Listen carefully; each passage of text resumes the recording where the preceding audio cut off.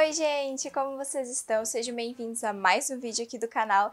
E no vídeo de hoje eu vim mostrar todas as minhas comprinhas de livros novos do Saudão da Amazon e também os primeiros recebidos de 2024.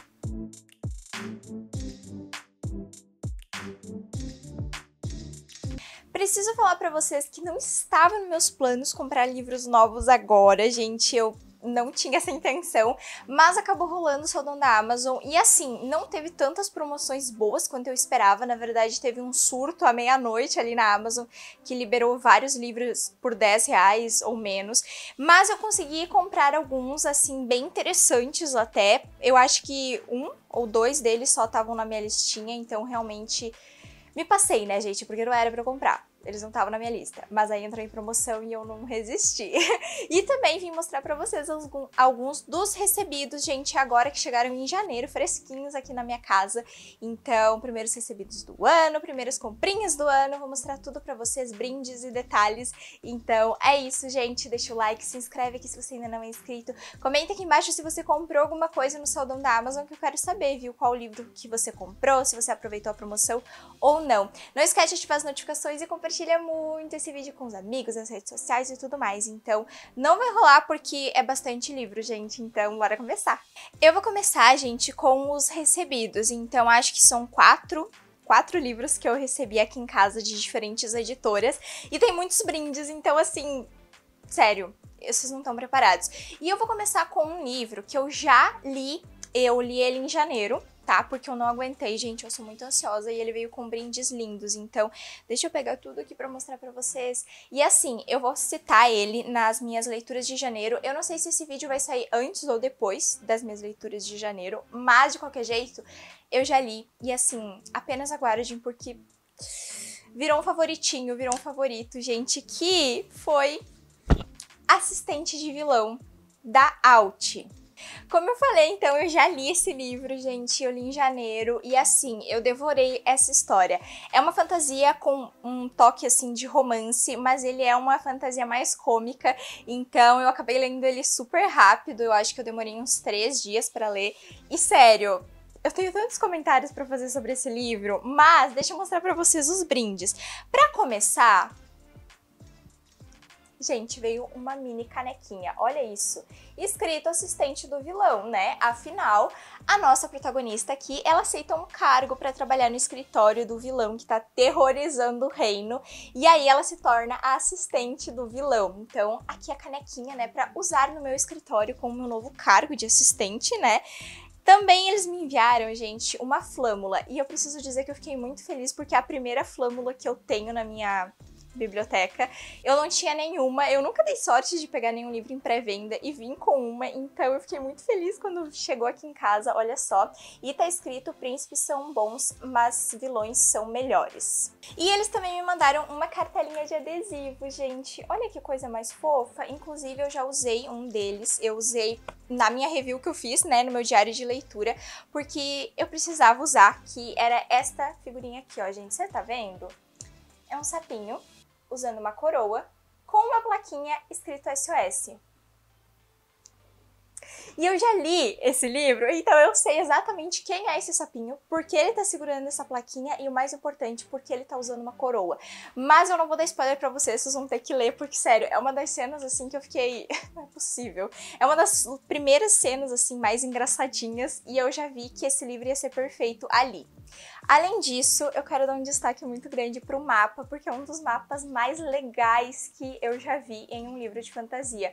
Gente, é, é incrível, até porque tem umas coisas muito engraçadinhas aqui, por exemplo, lista de afazeres do mal, roubar placas de rua, sequestrar donzelas, insanidade e caos apenas, entendeu? Apenas. E eu fiquei muito feliz, é um novo lançamento deles, né? Uh, esse livro, Assistente do Vilão. Ele é o primeiro de uma trilogia e eu não tenho certeza se os outros dois saem esse ano. Eu acho que o segundo deve sair esse ano ainda, pela editora Alt, mas eu tô muito feliz, eu tô muito feliz. Eu amei, eu amei os brindes, eu amei esse recebido e amei essa leitura. Fiquem de olho aí no canal que eu vou falar mais sobre ele nas leituras de janeiro. O próximo recebido, gente, eu acho que ele acabou chegando um pouco atrasado aqui em casa, porque são dois livros do grupo Editorial Record, um da Verus Editora e outro do grupo Editorial Record mesmo.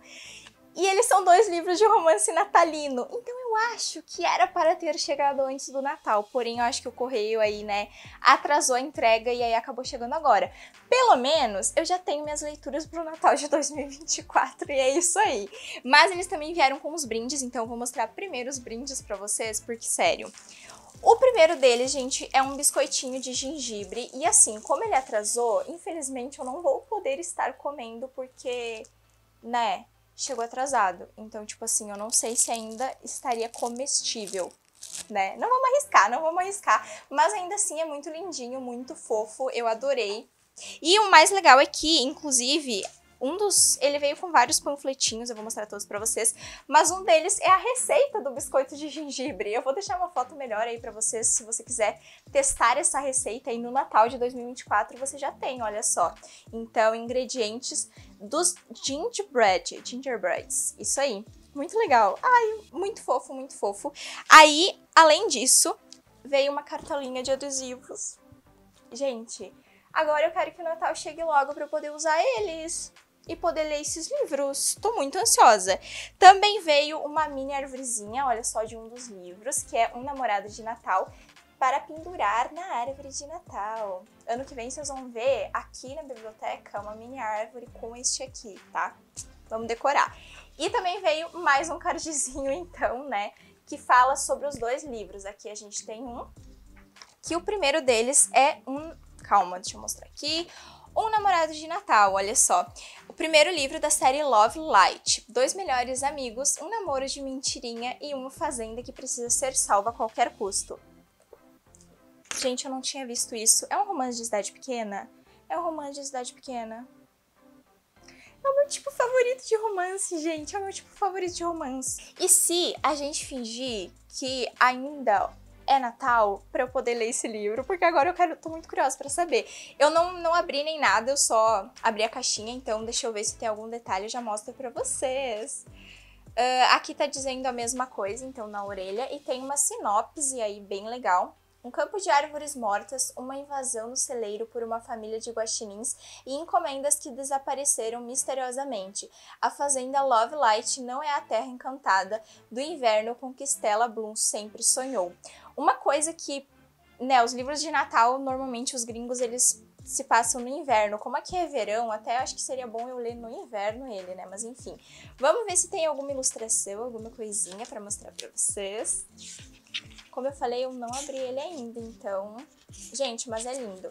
Não temos ilustração, apenas o número do capítulo, mas de qualquer jeito, a capa é muito, muito fofa, sério, olha isso. Aqui então a gente tem o casal principal e um visco. Visco? Acho que é assim que se pronuncia. A gente não tem muito essa tradição, né, de pegar essa plantinha para dar um beijo embaixo, mas eu achei muito fofo mesmo assim. E o segundo livro, então, também natalino, é O Encontro com Holly. E este aqui a gente tem escrito de inimigos a amigos, de amigos a amantes. Tudo que Holly deseja de Natal é um namorado, real ou fake. Conheça a primeira comédia romântica de Brittany Cherry, que é a autora. Olha só, gente! Muito fofinho. Os dois, eles têm muito essa pegada de capa de livros de romance fofo, né? Que tá bem em alta, além de serem bem natalinos. Então, eu amei, eu amei. Né? E aí, a gente tem, então, aqui a Holly. Temos o par amoroso dela e vamos ver se tem algum detalhezinho ao longo do livro, gente. Temos, temos, temos, esse temos ilustrações, olha só. É só um detalhezinho, mas ainda assim muito bonitinho mesmo. E aqui atrás a gente tem a sinopse e uma árvore de Natal com presentes. Tudo que Holly deseja de Natal é um novo namorado para que ela possa esfregar na cara de todo mundo da sua cidade que a viu ser abandonada no altar. Já Kai não aguenta mais chegar no próprio restaurante e ver sua vizinha, que, olhando melhor agora, é uma tremenda gata. Todo dia é de conversinha com um homem diferente e resolve dar umas dicas para ajudá-la a encontrar o cara. Eu, como é que eu faço agora? Eu quero ler livros de Natal em pleno carnaval, gente. Como é que eu faço isso? Mas eu amei, eu amei. Já tô muito ansiosa para começar essas leituras, mas eu acho que eu vou me segurar e vou guardar para ler eles no Natal mesmo. E aí eu posso fazer até vlog de leitura aqui com vocês, porque eu não tenho nenhum livro de Natal físico assim com essa pegada natalina. Então, eu amei, eu amei. Uma pena que chegou atrasado, né, gente? Porque eu poderia ter lido no Natal passado, mas ainda assim fiquei muito feliz. E o último recebidinho, que na verdade é o mais recente, tá super fresquinho. Eu acho que tem uns dois dias que chegou aqui em casa. E também é da Veras Editora, gente.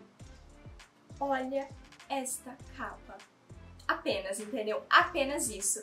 Que é Gwen e Art não estão apaixonados. Então, meio que foge de tudo aquilo que eu esperava. Então, ele é meio que um romance de época, uma releitura com outros romances e tudo mais. Gente, eu amei. Eu vou dar uma lida nas sinopse pra vocês, mas calma lá. Pra começar, como eu disse, né, olha só, essa capa simplesmente impecável, não tenho nem o que dizer. E ele também veio com brendezinhos. Ele veio com um cardzinho, tal qual a capa, olha só. E aqui tá escrito: será que há espaço no reino para serem quem realmente são? Entendeu? Né? Viu aí que vai ter um meio que uma coisa assim de vai ter romance, não vai ter? Será que o casal principal vai ser eles ou não? Acho que não, né, gente? Porque o título é que eles não estão apaixonados, então, né? É meio que um spoiler, na verdade. Enfim, veio também um marcador para combinar com um livro. Olha só, gente, muito fofinho. Vamos ver se tem algum detalhe e daí eu vou ler um pouquinho da sinopse para vocês. Gente, temos detalhes, eu não tinha visto. Tem mapa. É um livro de romance com mapa. Gente, gente, não, não, assim, Tá, vamos lá. deixa, eu, deixa eu me localizar. Tá, é o mapa de Camelot, então. Deixa eu ver se o mapa continua aqui atrás. Ah, ele continua. Tá, olha só, gente. Ai, meu Deus. Aqui é a continuação do mapa, então vocês conseguem ver melhor. Deixa eu me situar aqui, gente. Então é o mapa de Camelot. Aí a gente tem vários várias coisinhas assim, por exemplo, quartos reais, quarto da Gwen, direção das cozinhas, sacada real. Gente, muito. Ai, eu amei, eu amei. Eu preciso dizer que eu tô mega ansiosa porque uma das minhas metas de leitura desse ano é terminar a trilogia de A Farsa de Guinevere, que é uma releitura, né, do clássico da Tábua Redonda, Camelot e tudo mais. E aí eu amei, amei, amei aquele livro. Claro que é uma fantasia, esse aqui é um romance, mas ainda assim eu fiquei meio que fissurada nessa história, nessas releituras de Camelot, do Rei Arthur e tudo, porque não é algo que a gente tem tanto essa cultura aqui no Brasil, sabe? Uh, eu sei que na Inglaterra eles têm muito de saber o conto do Rei Arthur, dos cavaleiros e tudo mais, mas aqui a gente não tem meio que isso. Então meu primeiro contato, na verdade, com a história de Camelot foi com a série Once Upon a Time, e aí agora eu peguei esse livro da Guinevere, eu amei, amei, amei, e aí agora eu tô mega ansiosa pra ler esse aqui também. Uma comédia romântica medieval queer sobre amores, amizade e a coragem necessária para fazer história.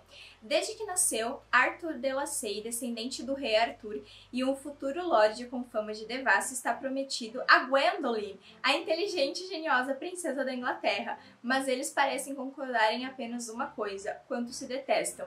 Então, aparentemente, a gente não tem a Guinevere nesse livro, tá? Ela se chama Gwendoline, mas, obviamente, é uma referência clara, né, a Guinevere, tipo, Gwendolyn, Guinevere e tudo mais. Mas, né, vamos ver. Às vésperas do casamento, Arthur é forçado a passar o verão em Camelot para se aproximar de Gwen. Porém, antes mesmo de terminar o primeiro dia de arte no castelo, Gwen o flagra beijando um rapaz.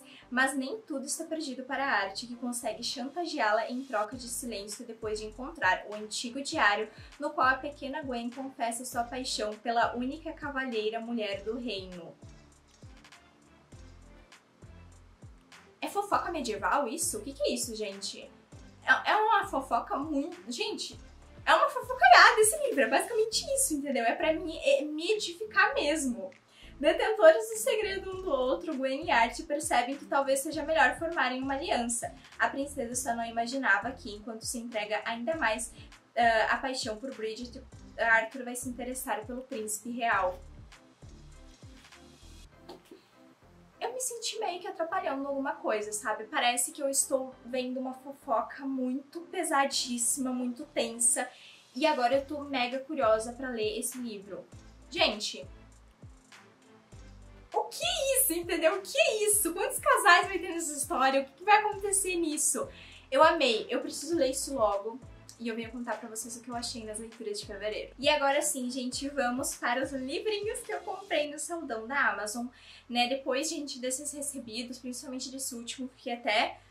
Meu Deus! Mas vamos lá. Foram cinco livrinhos que eu comprei, não foi muita coisa, mas eu tentei aproveitar de fato as promoções. Gente, os livros que eu queria mesmo, que estavam na minha listinha de uh, compras e tudo mais, no meu carrinho, nenhum deles entrou em promoção. Eu acho que teve um que entrou em promoção que foi tipo de 5 reais, sabe? Que deu desconto de 5 reais. Então eu acabei não comprando, porque, né, gente, poxa, foi triste, foi bem triste, entendeu? Eu entrei lá, meu carrinho não tinha nenhuma promoção e eu fiquei, meu Deus, isso é um castigo? Entendeu? O que eu fiz de errado? Mas aí, né, acontece, tô torcendo muito para que pelo menos aí no Prime Day, nos próximos promoções, entre os livros que estão no meu carrinho, né, gente? Mas, de qualquer maneira, consegui aproveitar. Esses aqui que eu comprei foram super baratinhos e eles me interessaram muito porque eu dei uma lida na sinopse antes de comprar para ver mesmo se eu queria eles, né? E vamos começar. O primeiro deles é o mais curtinho, gente, e assim... Eu confesso que eu comprei pelo título, tá? Que é Como Domesticar Seu Humano, um guia para gatos. Pra quem não sabe, eu tenho dois gatinhos, o Aslan e o Apollo, gente, então, dois frajolinhas lindos. Eu sou muito, assim, mãe de pet, eu amo gatinhos, eu... Ai, eles são criaturas incríveis, impecáveis, muito inteligentes. E aí esse livrinho entrou em promoção e eu pensei, hum, será que é legal? E aí eu vi os comentários, vi as reviews e o pessoal tava falando muito bem, dizendo que era muito divertidinho e tudo mais. Ele tem várias ilustrações de gatinhos, olha só. Gente, é muito, muito fofo mesmo esse livro. E ele, de fato, é meio que um guia, né, para gatos, assim, literalmente. Eu acho que eu deveria, inclusive, entregar esse livro para os meus gatinhos, depois que eu ler. e aí, aqui atrás a gente tem Delicioso, engraçado e irresistível, uma pequena obra-prima narrada do ponto de vista dos gatos. Ele é dividido por capítulos, assim, e é muito legal. Eu dei uma olhadinha, porque... Sério, é tipo assim, é o melhor livro do mundo, na moral. Eu não tenho nem o que dizer pra vocês. Olha só, aqui a gente tem os capítulos e ele é dividido assim. Os humanos, como seduzir um humano, o habitat, convivência e educação doméstica, fixações humanas e convivência com terceiros. Gente, eu preciso tanto ler esse livro e eu acho que eu vou me divertir tanto nessa leitura. Ele é um livro, assim, realmente para você não pensar, para você se distrair mesmo, sabe? Então, eu paguei super baratinho nele, acho que foi 10 reais, então compensou muito. E ele é bem curtinho. Tô louca, louca, louca pra ler, gente. O próximo livro que eu comprei, gente, é As Garotas de Green Rose. E eu preciso dar um destaque para essa capa, que na verdade foi o que me convenceu, possivelmente, a comprar este livro. Eu não cheguei a olhar muito os detalhes dele, vamos ver agora, vou ver junto com vocês. Mas eu já li a sinopse, basicamente, antes de comprar. Porque ele é basicamente um mistério, porém, gente, ele é um mistério com fantasia. Vocês já vão entender. Só aqui vocês já conseguem ter uma noção do que se trata a história. Ele é lindo, lindo esse livro. Ele faz parte de uma duologia, o segundo ainda não saiu no Brasil. Mas, quatro amigas, uma morte misteriosa, nenhum final feliz. Uma história que não começa com Era Uma Vez. Após perderem sua melhor amiga de forma misteriosa, ela, Yuki e Rory se tornam o principal assunto em sua escola de elite, a Academy Green Rose. A polícia determinou a morte de Ariane como suicídio, mas o trio está determinado a descobrir o que realmente aconteceu. O ano letivo acaba de começar e Nani, recém-chegada ao colégio, se torna a nova colega de quarto das garotas. Apesar da desconfiança inicial, elas logo são obrigadas a se unir, pois uma série de eventos sinistros passa a aterrorizar os alunos. Até que, enquanto investigam os últimos dias de sua amiga, as garotas descobrem um segredo obscuro sobre Green Rose. Ariane não foi a primeira garota a morrer na escola. Logo elas descobrem que as mortes do passado estão conectadas a antigas maldições de contos de fadas. Pior, seus próprios destinos estão ligados à história, condenando-as a finais terríveis e brutais. É óbvio que eu precisava pegar e comprar esse livro e ler essa história porque ele é uma releitura de contos de fadas, obviamente, só que com mortes e mistério e assassinatos e essas coisas. E eu fiquei, Quando eu li a sinopse na Amazon, eu fiquei, meu Deus, eu preciso desse livro, apenas isso. Não tava na minha lista, eu nem sabia da existência dele, mas eu li e eu fiquei, é ele, eu preciso ter na minha estante. Não ironicamente, todos os livros que eu comprei são releituras, gente. Eu percebi isso só agora, entendeu? Assim, acho que eu estou entrando num abismo de releituras de contos de fadas. Um deles é a releitura de uma lenda uh, asiática, mas já chegaremos lá. Mas o próximo é Garotas de Neve e Vidro. Esse livro é o que estava na. Na verdade, tem dois aqui que eu já queria, mas esse aqui não estava no meu carrinho, estava só na minha lista de desejos, porque ele é uma releitura, obviamente, né? Da Branca de Neve. Garotas de Neve. Entendeu? Pois é. Enfim, eu já tava querendo muito esse livro há algum tempo, só que ele tava meio caro e aí eu falei, ah, não vou comprar agora, sabe? Tipo, eu tenho outros livros aí. Só que ele entrou numa promoção muito boa e aí eu acabei meio que comprando. E é isso, tá? Não tem muitas explicações. Ele é uma fantasia de volume único a princípio. Eu acho que não tem continuação e nada indica que terá, então eu acho que é um volume único. Mas de qualquer maneira, ele, como eu falei, né, é uma releitura da Branca de Neve, só que a gente acompanha o ponto de vista dela e também da madrasta. Vocês já vão entender. Olha só. Mina é filha de um mago cruel e sua mãe está morta. Aos 16 anos, seu coração nunca bateu por ninguém. Na verdade, ele jamais pulsou de forma alguma, e Mina sempre achou esse silêncio normal. Ela nunca suspeitou que o pai arrancara seu coração e no lugar colocara outro de vidro. Então, quando Mina chega ao castelo de Primavera Branca e vê o rei pela primeira vez, ela cria um plano: conquistá-lo, tornar-se rainha e finalmente conhecer o amor. A única vantagem, a única desvantagem deste plano, ao que tudo indica, é que ela se tornará madrasta. Lynette tem 15 anos e é a imagem da sua falecida mãe. Um dia descobre que um mago criou a semelhança da rainha morta a partir da neve. No entanto, Lynette preferiria ser forte e majestosa como sua madrasta Mina, e realiza seu desejo quando o pai a torna rainha dos territórios do sul, tomando assim o lugar de Mina. A madrasta então começa a olhar para a enteada com algo que se assemelha ao ódio, e Lynette precisa decidir o que fazer e quem quer ser para ter de volta a única mãe que de fato conheceu ou simplesmente derrotar Mina. Temos mapa, olha só, gente.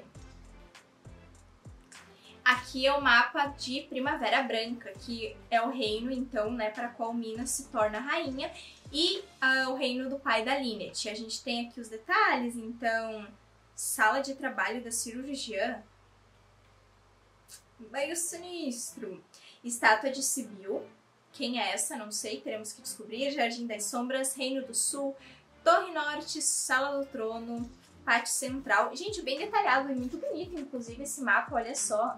Dá pra ver bem os detalhes do castelo, achei muito legal. Não temos ilustrações no começo de cada capítulo. Ele não é um livro grande, ele tem 417 páginas, então vai ser uma das minhas próximas leituras, principalmente porque eu tenho quase certeza que ele é um volume único. Então, gente, eu aproveitei muito bem essa promoção. Se você ainda não viu o vídeo de ranqueando, classificando todos os livros que eu li em 2023, vá ver tá? Vai ver, vou deixar aqui no card. Porque em 2023 eu li a duologia, né, de Widerwood, que o primeiro livro é para o Lobo e o segundo para o Trono. Que coincidentemente o primeiro é uma releitura da Chapeuzinho Vermelho e o segundo uma releitura da Branca de Neve. Então eu amei, é uma duologia muito boa, eu super recomendo. E aí esse aqui entrou em promoção. Eu não lembro, gente, eu acho que eu paguei, sei lá, uns 15 reais nele, então eu comprei mais pela capa e porque o título é óbvio que é né, uma releitura e tudo mais, mas eu vi que as avaliações estavam boas na Amazon, então eu falei que, ah, vou dar uma chance, né, e tal. É um livro curtinho, a história da Chapeuzinho Vermelho, para mim, é uma das mais macabras dos contos de fadas, então eu acho que tem muita coisa que pode ser explorada, até porque a gente não teve nenhum filme da Disney ali, né, que uh, infantilizasse essa história, então ela já tem uma pegada meio sombria e eu acho que na, nas releituras de livros pode ser trabalhado muito bem. Então acabei comprando numa promoção, assim, foi bem baratinho, vou ler ele e venho contar pra vocês o que eu achei. Assim como Garotas de Neve e Vidro, eu acho que esse aqui é um volume único, então boa vantagem, vou poder ler ele rapidinho. E é isso, gente. Eu assim, eu não sei. eu não sei por onde é que eu começo a explicar para vocês. Esse aqui foi o único do meu carrinho que entrou em promoção, que é A Filha da Deusa da Lua.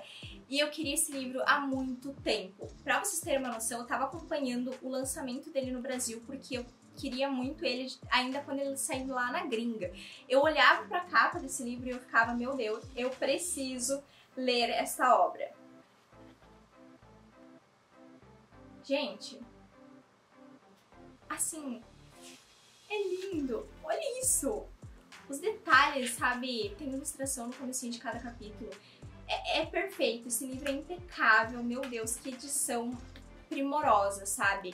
Ele é parte de uma duologia e, se eu não me engano, o segundo livro sai este ano aqui no Brasil. Então eu vou ler ele meio logo assim, porque eu quero ler a continuação. Há uma porção de lendas sobre minha mãe. Seja qual for a história na qual você acredite, minha mãe, Kang, Chang, acabou com a imersão porque eu não sei pronunciar o nome dela, mas enfim, né, gente?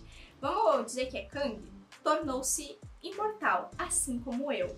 A filha da deusa da lua abre uma duologia encantadora que tece a antiga mitologia chinesa em uma aventura arrebatadora de mortais e magia, de perda e sacrifício, na qual o amor compete com a honra, os sonhos são repletos de traição e a esperança emerge triunfante. Uma fantasia épica, cativante e romântica inspirada na lenda da deusa chinesa da lua, na qual a busca de um jovem para libertar a mãe a coloca contra o imortal e mais poderoso do reino, fazendo-a trilhar um caminho perigoso no qual aqueles que ela ama não são os únicos em risco. Uma aclamada releitura inspirada na lenda chinesa. Gente, como eu falei, eu já queria há muito tempo esse livro, então para mim, assim, ele é o que eu mais quero ler das minhas comprinhas, porque eu já sabia mais ou menos a sinopse da história, já tava doida pra ler, e aí eu consegui uma promoção. Não foi tão barato assim, confesso, eu acho que foi uns 30, 30 e poucos, então assim, não foi tão barato, mas como foi o único que entrou em promoção no meu carrinho, eu acabei comprando mesmo, porque é lindo entendeu? Apenas isso. É muito bonito. E, gente, é uma releitura, então, de uma lenda chinesa. Como eu falei, todos aqui são releituras. Não sei porquê, eu percebi isso agora, eu não tinha me tocado antes, mas enfim. E com certeza vai ser uma das minhas próximas leituras, viu? Eu tô muito, muito ansiosa pra ver o segundo livro, mas esse aqui, gente, virou meu novo xodózinho na estante. E esse foi o vídeo de hoje, gente. Eu espero muito que vocês tenham gostado de saber quais foram as minhas primeiras comprinhas do ano, meus recebidinhos e tudo mais. Muito obrigada às editoras que me mandaram os livros e os brindes. Aguardem que, obviamente, aí ao longo do ano vai ter review e avaliações de todos esses livros. Eu sempre faço né, leituras do mês, então conforme eu for lendo eles, vocês vão saber o que eu achei, se valem a pena ou não. Principalmente os que eu comprei, porque aparentemente a maioria deles não é tão conhecido assim. Então, poxa, já fica aí a dica pra vocês, né? Se você quiser ir lá e comprar algum desses livros. Mas é isso, gente. Deixa o like, se inscreve aqui no canal se você ainda não é inscrito, compartilha muito esse vídeo com os amigos, comenta aqui se você comprou alguma coisa nesse saldão. E é isso, até o próximo vídeo e tchau!